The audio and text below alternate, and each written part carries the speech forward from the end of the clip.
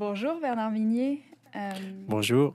Merci d'être avec nous aujourd'hui pour euh, nous parler de votre dernier livre là qui vient tout juste de sortir aux éditions XO, Lucia.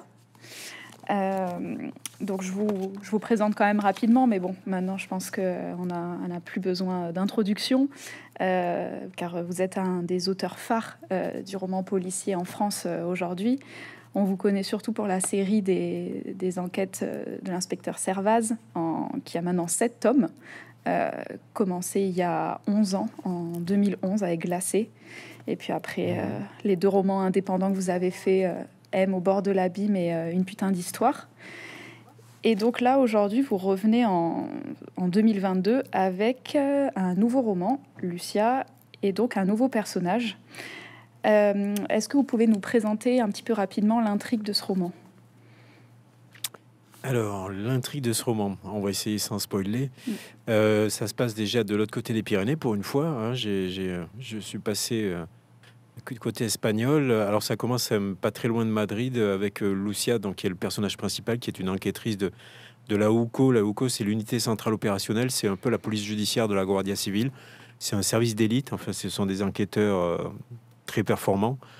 Et euh, dès le prologue, elle découvre euh, sur un calvaire, en haut d'une colline, euh, son coéquipier en quelque sorte crucifié sur la croix de droite, mais sauf qu'il n'est pas véritablement cloué ou attaché à la croix. Et elle se pose la question de savoir comment il tient. Et en fait, il est parce qu'il est nu, comment il tient dans l'air. On a l'impression qu'il est en lévitation et en réalité, il est collé. Il a tout l'arrière du, du, corps, du crâne, etc., qui est collé à la croix. Et donc, elle va se. C'était non seulement son coéquipier, mais c'était, on peut le dire, c'est au début du livre, c'était aussi son, son, ami et son amant. Et donc, elle va se lancer très vite, à corps perdu, dans cette, dans cette enquête, dans cette investigation. Et assez rapidement, elle va découvrir un lien avec euh, d'autres affaires qui, elles, ont été en quelque sorte mises au jour par euh, des étudiants en criminologie de l'Université de Salamanque. C'est un groupe d'étudiants en criminologie et leurs professeurs qui ont euh, repéré l'existence d'un tueur monstrueux qui était passé sous les radars pendant des décennies, qui ont relié entre eux des faits jusqu'à leur isolé.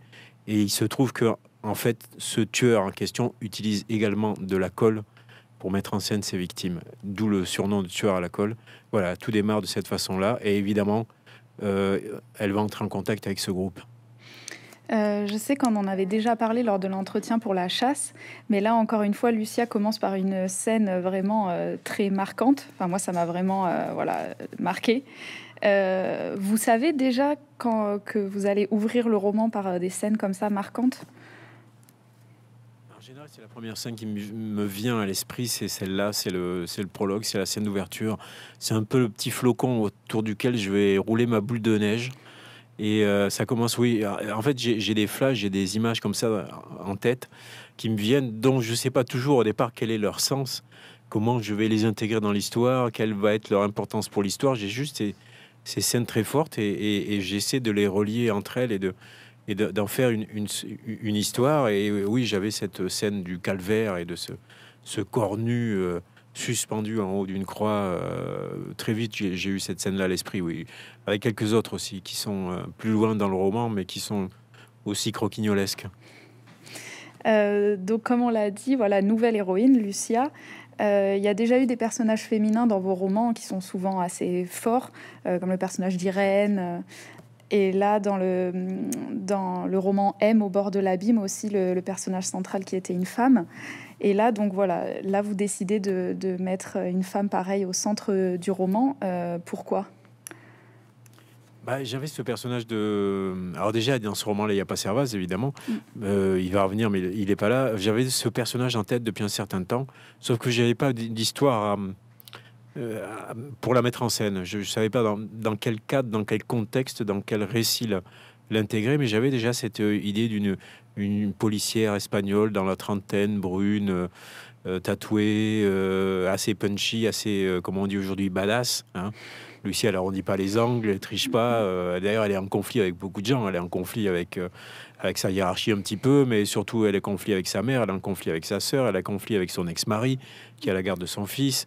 Donc on sent que c'est quand même quelqu'un qui arrondit pas les angles. Et en fait, elle est aussi ce qu'on voudrait être très souvent dans la vie et qu'on peut pas toujours être dans la vraie vie. Malheureusement, elle, euh, voilà, elle assume. Et donc j'avais ce personnage en tête depuis un certain temps parce que hum, parce qu'en fait, je me suis aussi inspiré de personnes réelles pour construire ce personnage. Après, il y a tout le travail d'imagination de l'auteur de fiction. On ne doit jamais s'arrêter à la réalité. Mais néanmoins, euh, il y a, elle a quelques modèles bien vivants, euh, Lucia. Et, mais sauf que je ne savais pas jusqu'à une date récente dans quelle histoire l'intégrer.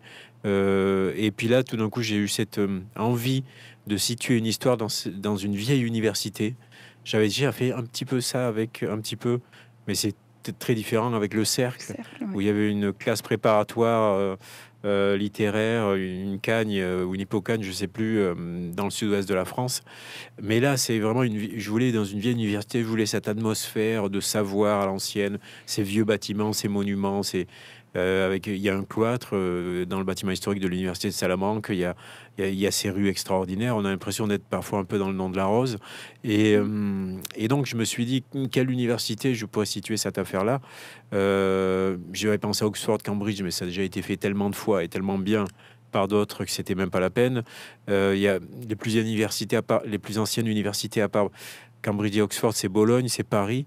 Et puis tout d'un coup, j'ai pensé à cette université de Salamanque qui a été fondée en 1218, qui est très ancienne, euh, qui est la plus vieille université euh, espagnole en activité. Et là, je me suis dit, ah ben voilà, euh, j'ai un, cadre, j'ai un décor, j'ai un contexte pour ma, pour ma Lucia, pour mon personnage, puisqu'elle est espagnole. Et tout, au fond, c'est imbriqué de cette façon-là. Et euh, donc vous avez dit qu'il y a des inspirations euh, réelles pour euh, Lucia. Est-ce qu'il y a aussi des inspirations fictives? Parce qu'elle fait penser à certains autres personnages féminins comme par exemple, enfin moi le Millennium. ouais, exactement. Bah, c'est ce qu'on m'a dit. Ah, alors si vous voulez, je vous sors mon téléphone et je vous montrerai certaines choses, mais il se trouve que le l'un des modèles de Lucia fait penser aussi à Lisbeth Salander. Mm. D'ailleurs, son surnom dans la vraie vie, c'est Lisbeth, c'est pour vous dire. Et euh, sauf que voilà, elle est, espagnole, elle est brune, elle est tatouée. Euh, je veux dire, Lisbeth Salander n'est pas la seule jeune femme tatouée au monde, il y en a d'autres. Mm, mm. Et elle, est, elle a ce caractère très espagnol aussi qui est, euh, qui est qu'on est en général, ils sont assez cash. Donc voilà. Et donc non, je me suis pas inspiré de Lisbeth Salander du tout. Je me suis inspiré de ce que j'avais autour de moi en fait. Et elle est assez différente de Servaz. Euh, elle, elle est plus impulsive, euh, elle est plus euh, voilà cash. Servaz, lui, est un peu plus calme, un peu plus timide, un peu plus renfermé. ouais, exactement. Qu'est-ce qui les, qu'est-ce qui les rassemble? Qu'est-ce qui les voilà différencie tous les deux? Alors, alors les différencies, on vient, on vient de le dire essentiellement, on vient d'en parler. effectivement, elle est plus dans l'action, elle est moins dans la réflexion. Elle a tendance à foncer. Servaz, lui, il a toujours un peu le pied sur la pédale de frein. D'ailleurs, quand je comme vous l'avez dit, euh, j'ai déjà eu des personnages féminins importants dans mes romans, évidemment. Déglacé, il y avait Irène Ziegler, cette gendarme, et il y avait aussi Diane Berg, la psy, euh, qui a été envoyée à l'Institut Varnier. Euh, or, Irène Ziegler a été un peu comme Lucia, une femme d'action. elle pilotait sa moto, elle montait dans, pilotait un hélicoptère à un moment donné. C'était une quelqu'un qui s'habillait tout en cuir noir. donc, c'était déjà par rapport à Martin Servaz, euh, Irène Ziegler était déjà un peu la femme d'action. Ah, ce que j'avais voulu faire à l'époque, c'était le fameux binôme policier, homme et femme qu'on voyait dans les séries, qu'on voyait partout. En général, c'était l'homme qui était dans l'action et c'était la femme qui était dans la réflexion. C'était toujours le même cliché, les mêmes stéréotypes. Moi, j'ai voulu inverser le cliché dans le glacé. Et donc, c'était Irène Ziegler qui était dans l'action et, et c'était Martin qui était plus dans la réflexion. Et effectivement, Lucia est un peu dans la même lignée qu'Irène Ziegler, c'est-à-dire qu'elle est elle est beaucoup dans l'action. Elle n'est pas du tout une érudite comme les Servaz. Servaz, c'est un érudit. Mm. Il écoute la musique de Malheur. Il a des, livres partout chez lui. Euh, et à un moment donné, je sais que Lucie a dit, par exemple, il y a un autre personnage très important dans le roman qui est Salomon Borges, qui est le professeur de criminologie, qui lui est un érudit. Euh, et à un moment donné, elle dit à Salomon, euh, moi je lis pas, parce qu'il fait, je crois qu'il fait une référence littéraire où il fait une citation. Elle lui dit, elle comprend pas, et elle lui dit, moi je lis pas. Donc elle est vraiment euh, très différente de, de Serva. Ce qui les réunit, c'est bon, évidemment, c'est tous les deux de très bons enquêteurs. Il manquerait plus qu'ils soient mauvais, on n'aurait plus d'histoire. Donc euh, voilà, déjà il y a ça. Et puis euh, le fait que oui, comme elle est comme Serva, c'est un pitbull, elle a jamais, jamais son os. Une fois qu'elle a planté ses crocs dans un mollet, elle lâche plus quoi. Et c'est ça, ce côté, ça pour le coup, Servaz c'est pareil, même s'il est, il le fait pas de la même mm. façon, il lâche jamais l'affaire. Et, et elle, est, elle est comme ça aussi. Mais effectivement, ils sont très différents et aussi aussi deux générations différentes. Servaz, c'est quelqu'un qui aujourd'hui, euh, il avait 40 ans en glacé, 11 ans ont passé, et le temps passe aussi bien pour les lecteurs que pour le personnage que pour l'auteur. Et euh, aujourd'hui, Servaz, c'est quelqu'un qui a passé la cinquantaine, alors que hum, elle est plutôt proche de la, de la, quarantaine, entre 30 et 40. Donc voilà, c'est une autre génération d'enquêteurs. C'est ça aussi que j'ai voulu montrer avec, euh, avec ce personnage, c'est que voilà, c'est... Puis c'est l'Espagne d'aujourd'hui, c'est ça qui est important, c'est que hum, l'Espagne a énormément changé. Et donc, c'est pour ça que je voulais un personnage dans la trentaine ou la quarantaine, un personnage assez jeune, en tout cas pour, pour quelqu'un comme moi, évidemment. Euh, c'est parce que je voulais montrer l'Espagne d'aujourd'hui, qui est une Espagne qui a énormément changé sur beaucoup de plans. On le voit pour ceux qui sont qui consomment des séries télé sur les plateformes. Il y a beaucoup de séries espagnoles aujourd'hui, des séries policières en particulier. On voit bien que l'Espagne n'a plus rien à voir avec ce qu'elle était. Par exemple, un exemple parmi plein d'autres, dans le combat contre la violence faite aux femmes, euh, l'Espagne aujourd'hui est en avance sur la France. Mm. Euh, ils ont des services dédiés dans les, dans les commissariats pour l'accueil des, femmes victimes. Ils ont des juridictions spécialisées euh, au niveau de la justice. Ils ont des, hotlines. Ils ont, de, tout, ils ont mis en place tout un tas de systèmes, l'éloignement des, conjoints violents, etc. Ça fonctionne très bien en Espagne. Ils sont très en avance sur nous de ce point de vue-là. Nous, on est en train de mettre ça petit à petit en place. En Espagne, ça fait des années que ça existe. Donc voilà, l'Espagne a beaucoup changé. Et Lucia, c'est une femme espagnole d'aujourd'hui. Donc je voulais montrer ça aussi. Euh, un autre personnage dont j'aimerais parler, qui apparaît au début du roman, euh, c'est le personnage de Gabriel, qui est assez euh, atypique. Pareil, là, exactement. Qu'est-ce qui vous a inspiré ce personnage aussi? Parce que pareil, on peut penser à certaines choses. Ben, en fait, je voulais, ce qui, m'a inspiré, je voulais un personnage avec des personnalités multiples, hein, puisque c'est, je, je, me demandais comment faire un, truc nouveau avec une scène d'audition qu'on a vu mille fois, une scène d'interrogatoire qu'on a vu mille fois. Euh, et je me disais, il faut que je trouve un truc pour renouveler ça, ce, cet, exercice-là, pour faire quelque chose d'un peu différent. Et j'ai pensé évidemment à, aux, mille vies de Billy Mulligan qui existe depuis les années 70, Daniel Case, qui est le, livre de référence sur les, les personnages personnalités multiples. Euh, et, donc, j'ai imaginé qu'il sautait en quelque sorte pendant l'interrogatoire d'une personnalité à l'autre. Au début, il, est, il dit Je suis pas Gabriel, je m'appelle euh, Ismaël ou quelque chose comme ça. Puis il devient une femme, il devient Martha, puis il devient Ricardo, qui est un personnage violent, et ainsi de suite. Et, quelqu'un euh, dans mon entourage, un, un mien neveu, euh, m'a dit euh, ah mais ça me fait penser au film Split. Oui, tout à fait. Et donc j'ai été voir le j'ai été voir le film Split et effectivement il est question de personnalité multiple. Bon ben voilà c'est c'est un syndrome qui existe hein. et d'ailleurs c'est un syndrome qui existe mais qui est pas reconnu de la même façon euh, aux États-Unis qu'en France. Aux États-Unis il y a déjà eu plusieurs fois des dans des procès euh, le, syndrome de personnalité multiple, qui a, un autre nom aujourd'hui, euh, a été reconnu comme tel, et donc on a reconnu qu'il y avait suspension de la responsabilité de la part de criminels, puisqu'il ne s'appartenait plus, puisqu'il n'était plus véritablement lui-même. Euh, en France, je crois que ça n'est jamais arrivé. Il y a beaucoup de psychiatres qui sont aussi qui mettent en, question ce syndrome-là, qui, voilà. Et, en Espagne, je sais qu'une fois, D'ailleurs, je pense que je, le dis dans le roman. Je crois qu'une fois, il y a eu un, dans un procès euh, pénal, au pénal euh, criminel, euh, le juge a reconnu la suspension de responsabilité pour un syndrome de personnalité multiple. C'est arrivé, je crois, une fois. Après, je ne sais pas s'il y a une jurisprudence derrière, je crois pas. Et voilà, c'est un syndrome qui, aux États-Unis, est souvent, hein, pas souvent, mais enfin, est invoqué assez régulièrement dans les, les procès criminels, alors qu'en France, pas du tout c'est quelque chose de très différent. Et en Espagne, euh, c'est aussi. Euh, voilà, mais bon, c'est un syndrome qui existe, comme euh, l'amnésie, comme il y a, vous avez des romans policiers, il y en a plein, hein, où les personnages sont amnésiques, bah oui, forcément. Et, mais celui-là, il n'est pas utilisé tous les jours, c'est peut-être pour ça qu'on pense à autre chose. Et donc le dernier personnage dont j'aimerais qu'on parle un petit peu, vous l'avez dit, donc c'est Salomon, le personnage professeur à l'université. Euh, avec Lucia, donc ils forment un duo assez atypique. Elle, la jeune flic, euh, lui, le professeur d'université. Euh, qu'est-ce qui vous plaît dans ce duo un peu atypique? Alors déjà, il y a un rapport entre deux générations là aussi, hein, puisque Salomon, c'est quelqu'un qui a 62 ans, si mm. je crois, ma mémoire est bonne. Et donc, euh, il la traite d'une manière un petit peu paternaliste. Et puis, c'est Salomon, c'est quelqu'un qui voit le monde, euh, un peu comme Servas du reste, qui voit le monde euh, et qui voit notre époque avec le recul de quelqu'un qui est né dans le siècle précédent, qui a connu une époque où il n'y avait pas de réseaux sociaux, où il n'y avait pas d'Internet, où il n'y avait pas plein de choses. C'est mon cas également. Et donc, il voit, et en plus, c'est quelqu'un qui lit énormément, qui est, c'est un érudit, mais qui a lu tous les classiques, puisqu'il est quand même aussi beaucoup question dans, dans le roman de peinture euh, de la Renaissance et du Baroque, puisque le, le, tueur que, que traquent ces, ces, étudiants en criminologie, que traque Lucia, s'inspire pour mettre en scène ses victimes de peinture de la Renaissance et du Baroque, et, de peinture elle-même inspirée des Métamorphoses d'Ovide, qui est une des plus grandes œuvres littéraires de l'Antiquité. Donc c'est quelqu'un voilà qui a tout ce savoir, qui a toutes ces connaissances. Et Lucie, elle, elle a une autre, une autre forme de savoir, qui est celui euh, qu'elle a acquis euh, en tant qu'enquêtrice. Et j'aimais bien ce, duo. Euh, on a un petit côté, voilà, de temps en temps, il, il, est un peu paternaliste avec elle. et en même temps, elle est très intéressée par ce qu'il a à lui dire, parce qu'il a une connaissance qu'elle n'a pas, et inversement elle, elle lui apporte aussi des, voilà, c'est c'est ce, c'est et puis il y a aussi, c'est il faut pas oublier ces étudiants qui sont très mm. importants aussi, ce groupe d'étudiants, ces jeunes gens.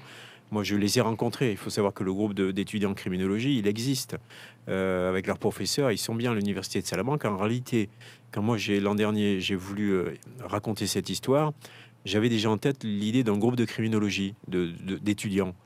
Euh, parce que j'aime aussi les films d'horreur, genre slasher, où on voit les étudiants se faire zigouiller de, de plein de manières horribles et grotesques et en même temps amusantes. Et donc, je, je, je, me suis dit, tiens, je vais le mettre à l'université de Salamanque, puisque c'est là où je voulais que ça se passe, c'est la plus vieille université d'Espagne. et en fait, je me suis aperçu, après coup, que le seul groupe d'étudiants en criminologie qui existe en Espagne se trouve à l'université de Salamanque. Ça tombait bien. Mm, mm. Et donc, je me suis rendu là-bas et j'ai rencontré le groupe en question. Et j'ai découvert leurs bureaux qui sont dans les sous-sols de l'université, dans les sous-sols de la faculté de droit, comme un peu comme dans le silence des agneaux, on est, on est vraiment sous-sol.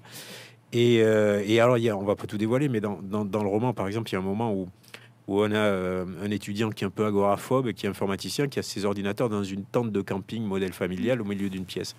Et pendant que je visitais les locaux de ces, ces jeunes gens, euh, je leur ai dit à un moment donné, mais je trouve que vos bureaux sont un peu petits. Et là, ils, m'ont demandé, mais un peu petit, mais pourquoi? Euh, Je leur dis parce qu'il me faut une grande pièce où je puisse mettre une tente de camping. Et là, ils me regardent tous en se disant, et je leur dis, mais c'est pour mon, c'est pour mon histoire, j'ai besoin d'une. Et donc, on part à la recherche d'une pièce suffisamment grande dans les sous-sols de la faculté de droit. Et là, il y a un des étudiants qui dit à son professeur, il y a l'ancien laboratoire de criminologie, celui qu'on n'utilise plus. Donc, on est parti voir le concierge, on a récupéré la clé. Et là, on est redescendu dans le sous-sol. On a ouvert la porte et là, je découvre une pièce avec des portraits de Charles Manson, de Ted Bundy sur les murs, avec un mannequin démantibulé, avec des microscopes, comme dans le roman en fait, avec des microscopes. Et, je, commence à faire des pas en long, en long, en large pour mesurer la taille de la pièce. Je leur dis 11 mètres sur 7, c'est parfait, c'est là que ça va se passer. Et donc la pièce, en fait, la pièce qui est dans le roman existe vraiment. Il y a juste la tente qui est pas là. Et, et ce qui m'intéressait donc avec ces jeunes gens, ces jeunes étudiants, avec Lucia, avec Salomon, qui lui est, sexagénaire, c'était ce rapport entre les générations. C'était aussi ce. Moi, j'aime beaucoup euh, échanger avec des jeunes gens. Je trouve ça très intéressant. Euh, et parce que c'est quand on a 20 ans, ils sont un petit peu plus vieux. Hein, c'est des, des, doctorants, donc ils ont 25, 26 ans, 27. Euh, et hum, quand on a 20 ans, c'est l'âge de tous les possibles, de tous les rêves. Après, quand on a mon âge, on, sait que la plupart des rêves ne se réaliseront pas. Mais néanmoins, il faut les avoir, ces rêves, à un moment donné. On les a. Euh, et, et, et, aussi, quand on, on, échange avec les étudiants, il faut surtout pas jouer au vieux sage, parce qu'il démasque très vite l'imposteur. Il faut surtout pas, il faut échanger, voilà, il faut recevoir et donner. Et je trouvais ça très intéressant à faire, ce rapport entre les générations et pour le coup les, générations en Espagne, mais pas seulement, puisque euh, mes étudiants ils viennent de, toute, euh, de toute l'Europe, voire même du monde entier. C'est le cas dans l'université de Salamanque. À l'université de Salamanque, on a des étudiants qui viennent euh, du Japon, d'Europe, de, d'un peu partout, parce que l'université de Salamanque a des programmes d'échange avec les universités européennes, mais aussi avec 25 universités japonaises. Et donc dans le roman, on a un, étudiant irlandais qui est l'informaticien qui bricole le, programme qu'ils ont mis au point d'IMAS, celui qui a permis de, repérer les liens entre les crimes, euh, qui s'appelle Ulysse Joyce. On a son compère euh, qui s'appelle Alejandro Lorca. On a euh, un étudiant japonais qui s'appelle Haruki Tanizaki. On a une, une étudiante danoise qui s'appelle Blixen. Enfin, il n'aura échappé à personne qu'il s'agit de noms d'écrivains. Hein. Et puis leur professeur s'appelle Salomon Borges. Borges donc, euh, parce qu'en fait, je me suis fait un peu plaisir. Quoi. Je me suis dit, tiens, euh, quitte à, à, les faire venir du monde entier, je vais leur, je vais leur coller des noms d'écrivains. Je trouvais ça rigolo. Et donc, euh, voilà, vous dites que vous avez rencontré ces étudiants-là en Espagne. Euh, quels autres interlocuteurs vous avez rencontrés? Parce que j'imagine que le fonctionnement de la police en Espagne n'est pas le même aussi que celui en France. Oui, alors j'ai rencontré des, membres de la Guardia Civile, bien entendu, y compris. Euh, alors il faut dire que ça se passe au début à Salamanque. Après, ça va se passer. Il y a, des, il y a une scène de crime à Ségovie, qui est une ville incroyable sur, un piton rocheux avec un aqueduc euh, doublement millénaire, qui date de, l'époque romaine au milieu de la ville, etc. Et puis après, on va se transporter, évidemment, comme toujours dans mes romans, on va partir dans les Pyrénées, mais côté espagnol, en hiver, comme d'habitude, dans un village qui s'appelle Graus, qui est dans le Haut-Aragon, c'est-à-dire les Pré-Pyrénées. Et euh, donc, j'ai rencontré ce village qui est lui aussi très spectaculaire, avec une basilique qui a eu son importance dans le roman, une basilique qui est collée au-dessus du village, qui surplombe le village avec un cloître et qui est collée à une falaise. Et sur cette falaise, il y a un, grand Christ en croix. Et hum, donc, je me suis rendu là-bas et j'ai rencontré les membres de la Guardia civile de, ce village de, Graus. J'en ai rencontré d'autres ailleurs. J'ai eu aussi bénéficié des conseils d'une hum, journaliste et auteur qui s'appelle Cruz Morcillo, qui a publié des, romans, justement, pas des romans, pardon, des, documents sur des grandes affaires criminelles espagnoles qui est une grande spécialiste d'affaires de, criminelles en Espagne, qui est en contact avec la UCO, avec la Guardia Civile, avec la justice, donc qui, qui nous a donné plein de tuyaux pour ça. Euh, et c'est elle, par exemple, qui m'a appris que hum, les salles, les, cellules de garde à vue autour de Madrid, il y en avait uniquement dans une des casernes de la Guardia Civile qui s'appelle Tres Cantos. C'était le seul endroit où on pouvait mettre les, les, gens en garde à vue autour de Madrid. Et que ces cellules, contrairement par exemple au SRPJ de Toulouse, où les, les, cellules de garde à vue ont des portes vitrées. Euh, là, ce sont des portes métalliques avec des judas. Alors, c'est des détails, mais moi, je tiens à ce réalisme-là. Je tiens vraiment à cette crédibilité-là. Je veux que ça soit vrai. Je veux que ce que je raconte soit vrai. Je dis toujours que c'est une, une euh, la fiction, le, roman, c'est un mensonge qui dit la vérité. Mais pour dire un peu de vérité, il faut, il faut savoir de quoi on parle. Et donc, euh, j'ai rencontré les gens de la civile à, à, à. J'ai aussi bénéficié des conseils d'un auteur de noir espagnol qui est aussi membre de la, des Mossos de Mossos d'Esquadra, c'est la, c'est la police catalane, qui s'appelle Rafa Melero, qui a publié pas mal de, mm. de, romans policiers espagnols. Je ne sais pas s'il est traduit en France, Rafa. Euh, voilà, j'ai eu euh, pas mal de, contacts. Oui, j'ai aussi euh, eu des contacts à Graus dans la population, à Ségovie, parce que je tiens, je tiens à, à, savoir de quoi je parle. Je, je moi, je, je, je, je concevrais pas de me situer un je sais qu'il y en a qui le font et qui le font très bien, euh, mais je ne saurais pas de situer un roman dans un pays où j'ai jamais mis un orteil. Ça, je peux pas. Je peux pas faire. Euh, donc, euh, du coup, justement, on va parler un peu de l'Espagne, parce que là, cette fois, vous avez passé la, la, frontière, vous êtes passé de l'autre côté. c'est un pays qui vous tient à cœur. je crois que votre, je crois que c'est votre mère qui est espagnole et que vous avez vécu un petit peu en Espagne. Donc euh, voilà, pourquoi, pourquoi l'Espagne, euh, même si les raisons qu'on vient de citer déjà là précédemment? Oui, sont déjà assez fortes, oui. Euh, oui, ah ben oui, l'Espagne, parce que ma, ma, mère, effectivement, est née, est née dans le Haut-Aragon, pas très loin de ce village de Graus, qui est dans le roman. Donc, y avait Pré-Pyrénées, elle est née à quelques kilomètres à peine de ce village. Et, mais elle est arrivée en France à l'âge de 8 ans. Et de son vivant, ma mère disait toujours Je suis française, je suis pas espagnol. D'ailleurs, on parlait jamais espagnol à la maison. Mais moi, je suis retourné euh, en Espagne euh, quand j'avais à l'adolescence et surtout à la, à la, vingtaine, parce que je voulais redécouvrir mes racines du côté maternel et je voulais un peu comprendre. Et, euh, et c'était la période de la Mobida. La Mobida, c'est cette fameuse période des débuts des années 80 où il y a une espèce de révolution culturelle, festive, politique. Ça parle de Madrid, mais ça se répand dans toute l'Espagne. C'est l'époque où apparaît, par exemple, au cinéma Pedro Almodovar, où Almodovar tourne ses premiers films et tout un tas, c'est où, Miguel Bosé chante ses premières chansons, etc. Il y avait un côté rock aussi. Il y a une scène rock à l'époque espagnole. Il y avait une, le cinéma espagnol tel qu'on le connaît est né à cette époque-là. Et, et c'était une époque aussi la jeunesse espagnole découvrait la politique. Ils s'investissaient énormément dans la politique. On parlait beaucoup de politique. Euh, donc voilà, c'était euh, en fait euh, la démocratie espagnole faisait sa en quelque sorte sa puberté. Et moi, je faisais pas ma puberté, j'étais un peu plus tard, mais je faisais quand même mon éducation à la fois euh, personnelle et sexuelle en même temps que l'Espagne faisait la sienne. Donc ça a été avoir été jeune et avoir euh, avoir été jeune à ce moment-là et avoir connu ça, c'est une chance inouïe. Et ça fait très longtemps que j'avais envie aussi de parce que moi aussi je regarde des, séries télé espagnoles euh, sur les plateformes. Je lis le, noir espagnol. Il y, a, plein de gens extraordinaires. il y a les, les, immenses figures du genre euh, historique et tutélaire du genre que sont Manuel Vasquez, mm. Montalban, Ou, les Desma. Euh, mm. Mais il y a aussi des gens comme André Martin dans l'ancienne génération. Puis aujourd'hui, il y a des gens comme euh, Victor Del Arbol, comme mm. Lorenzo Silva, comme enfin, il y en a plein. Il y en a plein, plein, Carlos Salem, etc. Et voilà. Et j'avais envie depuis un certain temps, oui, de, de, de, passer de l'autre côté parce que hum, et puis on n'est pas si loin du sud-ouest de la France, on n'est pas si loin des Pyrénées non plus. Mm, Je m'éloigne pas trop en fait. Et euh, donc euh, voilà, vous avez parlé de l'université que vous avez visité. Vous avez visité euh, tous les lieux cités dans votre roman? Oui, absolument. Il n'y a, a, pas un seul lieu, je crois, dans le roman qui ne soit pas réel. Ce qui est peut-être la première fois parce que de temps en temps j'invente des mm. choses pour, pour c'est plus facile. Hein. Saint-Martin-de-Comminges dans le glacier, la ville n'existe pas, même si elle ressemble à Luchon. Euh, j'ai souvent inventé des lieux. Là, non, pour le coup, tout est absolument réel. Si je me trompe pas, parce que là, par exemple, il y a une, dans ce village de Graus, il y a une, Lucia poursuit un personnage dans la basilique. Mm. Elle grimpe la colline, elle, elle, traverse le cloître, elle rentre dans l'église. Après, elle prend un escalier en colimaçon et puis elle va se dans le clocher, au niveau des cloches, elle va se retrouver sur le toit. Moi, j'ai fait ce parcours-là, je suis monté sur le toit moi aussi, et j'ai d'ailleurs j'ai eu le vertige comme elle parce que c'est vertigineux absolument. Et euh, tous les lieux qui sont dans le, centre informatique qui sert de support au petit logiciel qu'ils ont mis au point, qui leur a permis justement de, de repérer ce tueur. Euh, le centre informatique existe aussi, je l'ai visité, il est dans les sous-sols de la faculté de droit également, mais il sert pour toute l'université de Salamanque.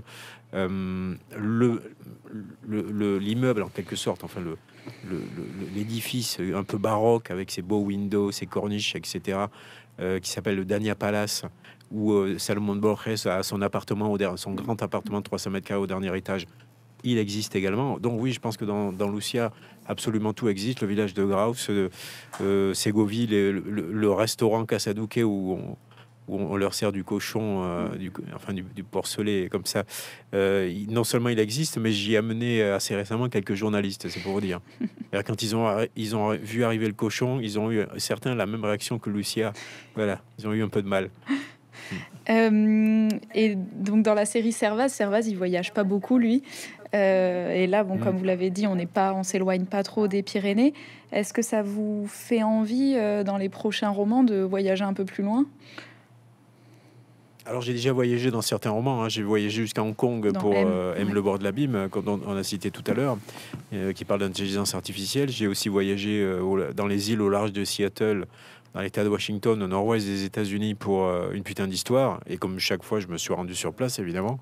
Et euh, Servas va revenir dans le prochain, donc on sera toujours dans le mmh. sud-ouest, etc. Mais néanmoins, euh, ce qui m'intéresse avec Lucia, c'est que ce, ce, service central, la UCO, cette unité centrale opérationnelle qui se trouve à Madrid, à la grande différence des services de police français, où par exemple, quand vous êtes au SRPJ de Toulouse, on ne va pas vous envoyer faire une mmh. enquête à Lille ou, à Brest.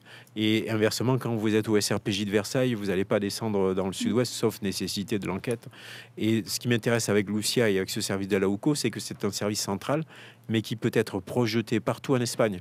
On peut les retrouver aussi bien en Andalousie qu'aux Baléares, qu'aux Canaries, qu'en Galice, euh, partout. Et ça, c'est parce que je pense que Lucia va quand même revenir. Ça, c'est quand même très intéressant parce que ça va me permettre de la faire voyager. Un petit peu, ouais, un petit peu plus.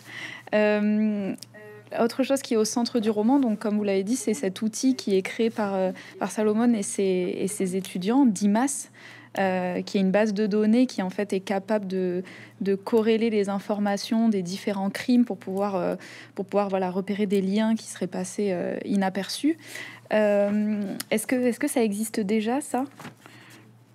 Ça existe, mais dans d'autres pays, on pourrait dire que ça ressemble un peu au fameux VICAP du FBI que tous les amateurs du silence des agneaux et d'autres mm. et d'autres films et, romans connaissent. il y a le Salvac ou Anacrim en France aussi qui sont assez proches de ça. ça bah, ma connaissance, je peux me tromper, ma, ma connaissance, ça n'existe pas en Espagne. ils ont beaucoup de fichiers, hein, pareil, informatiques, hein, comme toutes les polices du monde aujourd'hui. mais d'ailleurs, j'en recense quelques-unes dans le roman. Mais celle-là, celle-là, je l'ai imaginé. J'ai imaginé que c'était. Alors après, on va dire, ah, c'est des étudiants qui bricolent ça dans leur coin. Oui, mais d'accord. Mais si on regarde bien, euh, il y a dix ans, l'entreprise dans le classement mondial des entreprises par capitalisation boursière, le numéro c'était le géant du pétrole ExxonMobil. Aujourd'hui, si on refait ce classement-là, les cinq premiers, c'est qui? C'est euh, Google, Facebook, Amazon euh, et or, Or, Amazon a été mise au point par Jeff Bezos dans son garage avec l'argent de ses parents. Euh, Steve Jobs, euh, Apple a été mise au point par Steve Jobs et Wozniak quand ils qui étaient encore des très jeunes gens en rentrant d'un séminaire sur l'informatique ou je sais pas trop quoi et, et Jobs avait vendu son combi Volkswagen pour financer les premiers, travaux. Donc on voit bien que des trucs bricolés deviennent des choses énormes finalement. Aujourd'hui, ils ont révolutionné le monde avec des, des choses qui ont commencé dans un garage ou dans une chambre d'étudiants. Donc pourquoi pas Dimas et pourquoi pas ces étudiants-là? Et ça leur a pas donné des idées, du coup, justement, à ces étudiants euh, à la faculté, de, après de reprendre, euh, voilà. Ah, c'est une question amusante, ça. Ah ben, je ne sais pas, parce qu'ils n'ont pas lu le livre, en fait. Moi, je les ai interviewés, je leur ai posé plein de questions. Ils savent que le livre va paraître. Et il va sans doute être traduit en espagnol, puisque mes romans sont régulièrement traduits en Espagne. Et donc, euh, on, verra le jour où ils vont le lire, euh, où ils vont lire le roman. Peut-être ils vont se dire Ah, tiens, chouette, on devrait faire ça. Je sais pas. Pour l'instant, ils sont, sont pas là, ils chassent pas non plus les tueurs en série. Ils ont autre chose à faire, déjà obtenir leur doctorat. Ils sont assez occupés comme ça. Euh, dans le roman, euh, on suit donc un, meurtrier qui reprend des peintures de la, Renaissance. Euh, dans la série avec Servaz, la musique occupe une place importante. Là, donc avec Lucia, c'est plutôt la peinture. donc pourquoi, cette fois axer le roman autour du monde de l'art? Bah moi, je, c'est parce que c'est ce que j'aime, moi, en tant que euh, qu'être humain, que j'adore la peinture de la Renaissance, j'adore la peinture baroque, j'adore aller dans les musées en, Italie, en Espagne. Euh, euh, quand je suis à Madrid, je vais au Thyssen-Born Mizza ou au Prado. Quand je suis à Venise, je vais à l'Accademia ou à la Scuola San Rocco. Quand je suis voilà, à Rome, je vais visiter les musées Vatican. la National Gallery à Londres, c'est quelque chose. Moi, je suis un, passionné de peinture et de cette peinture en particulier de cette époque-là. Et, et donc, euh, de la même manière que je mettais la musique de Malheur ou la musique classique euh, parce que j'aime ça aussi, mais je mets aussi du rock. Hein. Il y avait un Saint mm. Espérandieu qui écoute du rock dans, dans, mes romans et du rock indé parce que c'est ce que j'écoute aussi. J'écoute aussi bien du classique que du rock. Euh, je, au fond, j'essaie de passer des petites choses qui me plaisent aussi, que j'aime à travers mes romans, de parler, de partager, de parler de choses que j'aime. Mais il faut pas oublier aussi que cette peinture dans le roman, ce, ce tueur s'inspirant donc de ces peintures, ces peintures sont elles-mêmes inspirées des métamorphoses d'Ovide. Or, il se trouve que les métamorphoses vide, c'est d'une violence inouïe. Mm. Métamorphoses vide, ce sont des choses très violentes. Les dieux grecs, et, parce que ça s'inspire de la mythologie, les dieux grecs et romains étaient aussi violents, aussi jaloux, aussi tordus, aussi menteurs, aussi manipulateurs que les, que les simples mortels. Et donc les métamorphoses, c'est plein de vengeance, c'est plein de meurtres, c'est plein de, de tortures, de choses absolument abominables. Et la peinture euh, de la Renaissance, c'est pareil. Quand vous voyez le, je, l'ai cité souvent ces derniers temps, mais quand vous voyez le, le Judith et Holoferne peint par euh, Artemisia Gentileschi, qui était la fille du Caravage, euh, qui a donc repris un thème que son père lui-même avait peint. Sur le tableau, on voit le jaillissement du sang artériel alors, au moment où elle tranche le cou, enfin, le, de, de, Holoferne. C'est du gore, c'est du film d'horreur, c'est très très violent. Et, et cette violence-là, elle a toujours existé dans la peinture, elle a toujours existé dans la littérature, dans le théâtre. Oedipe roi, Médée, Antigone, Cain et Abel, c'est quand même très violent aussi au fond, nous autres auteurs de thrillers, on s'est inscrit dans, toute cette lignée de, de, littérature et de peinture. Et puis, euh, concernant les métamorphoses d'Ovide plus spécifiquement, euh, Italo Calvino disait que c'était aussi le poème de la rapidité, que les, tout devait s'y succéder en rythme serré. On a l'impression d'entendre un des dix commandements du thriller. Donc voilà, on n'est pas si loin finalement. Il y a, un lien naturel entre cet art, cette, peinture de, de cette époque, avec ces grandes œuvres de l'Antiquité avec euh, le, le, polar tel qu'on le fait aujourd'hui. La violence a toujours été très présente dans l'art. Et comme vous, venez de le dire, dans le livre, il y a plein de petits clins d'œil, a des choses que vous aimez, que ce soit la musique, les films, les séries. Hum, les livres, ça permet au lecteur de mieux vous connaître, vous, en tant qu'auteur? Ah non, c'est pas de moi que j'ai envie de parler. Je, non, c'est pas la même chose. J'ai envie de parler des choses que j'aime et de, les partager avec mes lecteurs en filigrane parce qu'il s'agit de on n'est pas là pour les ennuyer donc euh, ça va ça va vite euh, on tourne les pages euh, ils n'ont pas le temps de se poser. Moi j'aime les attraper par le col les plonger dans la tête première de mon histoire et ne plus les lâcher jusqu'à la fin.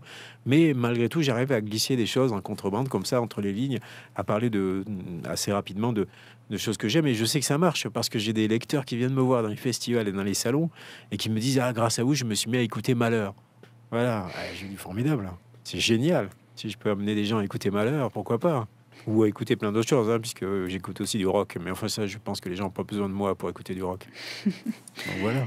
Euh, donc justement, dans le livre euh, Les Métamorphoses d'Ovide, voilà, comme vous venez de le dire, je voulais qu'on parle un peu plus en détail euh, de, des références qu'il y a à ce livre pourquoi, enfin, comme vous l'avez dit, il y a beaucoup de violence dans la littérature en général. Pourquoi ce livre-là en particulier euh, dans Lucia? Parce que mm, c'est une des œuvres références de l'Antiquité. C'est une œuvre, comme je l'ai dit, très violente. C'est ça qui m'intéressait. Et c'est surtout une des deux. En fait, la peinture de la Renaissance et la peinture baroque ont eu essentiellement deux sources d'inspiration, parce que les peintres allaient chercher leur, leur inspiration ailleurs, évidemment, dans des textes. Et la première source, c'était la Bible, et la deuxième source, c'était les métamorphoses de vide. En dehors de la Bible, la principale source euh, euh, séculière qui, qui inspirait les, les peintres, c'était les métamorphoses de vide. Parce que, comme on vient de le dire, déjà, il y a plein d'histoires de métamorphoses de vide. il y a plusieurs centaines d'histoires dedans, de petites histoires très rapides. Et puis, il y a plein de choses. Il y a, comme on l'a dit, il y a des meurtres, il y a des, il y a des tortures, il y a des trahisons, il y a des, il y a, des, des transformations. Et c'est, je veux dire, pour un peintre, c'est c'est une source inépuisable d'inspiration. Donc à partir du moment où j'ai pensé que mon tueur s'inspirait de la peinture de cette époque, euh, soit c'était la Bible, soit c'était les métamorphoses de vide, et je trouvais ça beaucoup plus rigolo de faire les métamorphoses de vide, sachant que, comme je l'ai dit, c'est non seulement c'est vraiment très violent. Un exemple, en 2020, je crois, vous avez eu à la, méta, à la maison des, femmes de Saint-Denis euh, une mise en scène de quelques-unes de ces métamorphoses qui associaient des, des comédiennes professionnelles avec des femmes, des amatrices, des comédiennes amatrices qui étaient elles-mêmes des femmes ayant été victimes de violences. Donc ça parle encore aujourd'hui. Euh, voilà, c'est un sujet quand même qui est, qui est souvent abordé, c'est la violence faite aux femmes et les métamorphoses de vide. Euh, cette violence faite aux femmes, elle est constante dans, dans, ces, dans ces contes-là, dans ces histoires-là. Et, d'ailleurs, ce qu'on n'a pas dit, c'est que les, victimes de ce tueur, dans, mon roman, ce sont des jeunes couples, des jeunes couples a, priori heureux, comme s'il était jaloux de ce bonheur-là. Et donc, c'est eux qui l'assassinent et qui met en scène en s'inspirant de, de ces tableaux et de, et de ces métamorphoses. Donc voilà, ça me paraissait le, ça me paraissait le, voilà, la source d'inspiration parfaite, si j'ose dire, pour un tueur, le tueur en question. Euh, une dernière petite question sur l'intrigue en général dans le livre. Euh, donc dedans, voilà, comme on l'a dit, il y, a plein de choses, plein, enfin plusieurs enquêtes différentes, euh, un peu comme un voilà, c'est un petit peu un roman à tiroir. Est-ce que vous savez déjà dès le début comment tout va se va se rejoindre à la fin? Dès le début, ça dépend ce qu'on appelle le début. dès le début de l'écriture proprement dite, oui. Euh, en, revanche, euh, au début, c'est une espèce de, soupe primordiale. Hein. J'ai plein de. C'est comme les brins d'ARN dans euh, l'origine de la vie. Quoi. Il y a plein de petites choses qui se mélangent, des bribes de dialogue, des idées. J'ai des images qui sortent effectivement de, des tableaux. J'ai des tableaux en tête parce que j'ai choisi les tableaux que, dont se sert le, le tueur, c'est pas forcément les tableaux les plus connus du reste. Hein.